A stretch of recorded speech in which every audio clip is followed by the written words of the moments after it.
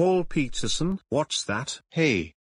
Can someone else do it for me please? Who is he? Here is your coffee. Huh? What the? I have to put on some classical music. oh my god. Those guys got everything better than me. Not the bills.